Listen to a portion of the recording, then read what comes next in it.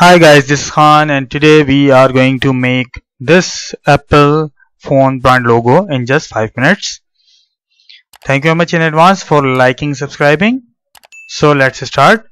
First of all go to this shape, click and hold here and select ellipse tool and click here and you have to enter 55 mm width and 60 mm height.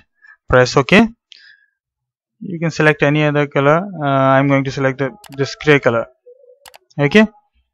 So click on this shape and make a copy of it. You can use ctrl c ctrl v or even just click it again and press ok and now you have to drag it this shape to the center of the other one like this it will only work when the in from the view menu the smart guides and snap to point uh, these are ticked like this. So these both should be on. Okay?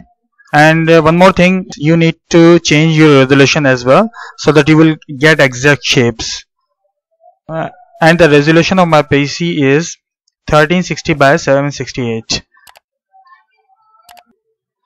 now back to the shape select both of these circles okay and go to pathfinder. This one pathfinder and in this one select this one unite.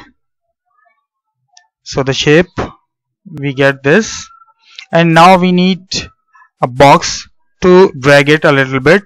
So I will use a box so that my size will be accurate. I will go here select rectangle to click here so the size is width is 80 mm and height is 75 mm. Press OK.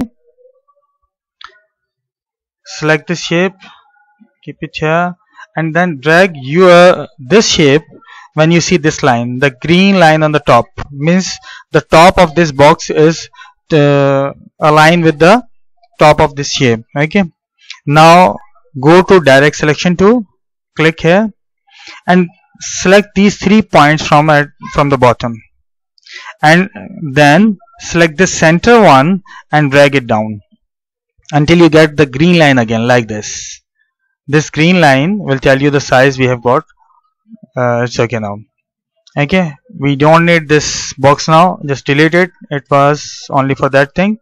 And then you can you can select here also. And then from the anchor just double click on this circle dotted circle. Double click here and radius make 10 uh, I will make 10 press ok so it will be the shape is a little bit rounded okay.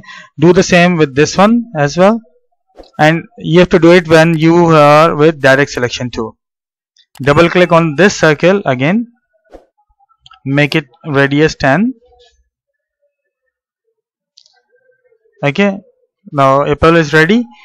Now you have to cut it slightly from here. So go to the shapes again. Select ellipse tool click here and select enter width 30 and height 40 press ok. Select and drag this shape again and then it should be like this. You can you can drag it like this and the center point of this circle should be touching the edge of the apple. Leave it here select pathfinder but first select both the shapes. Go to pathfinder and then select minus front here. So the apple is ready. Now we need the petal. So go to the ellipse tool again. Click here. This time width should be 30 and height should be 35 mm press ok.